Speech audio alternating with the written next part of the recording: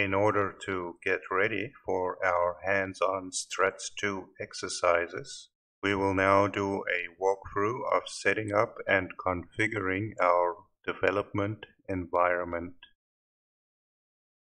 This slide shows the development environment that I will be using for the course. Java is of course runnable on most modern operating systems and Windows 10 can be swapped out easily for Mac OS, Unix, or Linux. The following set of slides will show you where to find the official online guides for installing and setting up your development environment.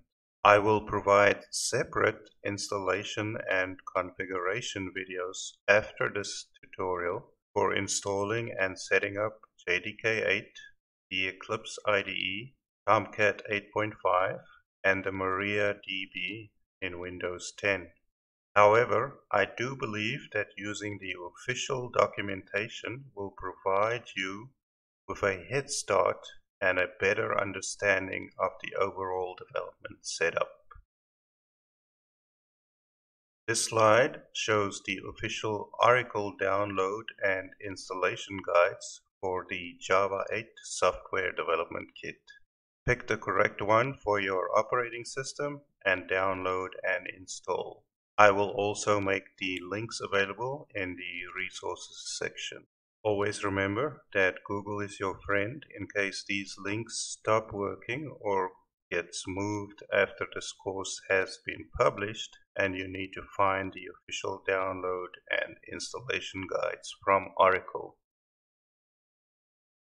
This slide shows the official download and installation URLs for Eclipse.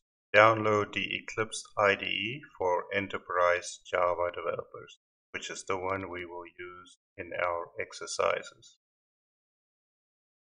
For the Tomcat 8.5 download and installation, I am going to go off script with regards to the installation guide.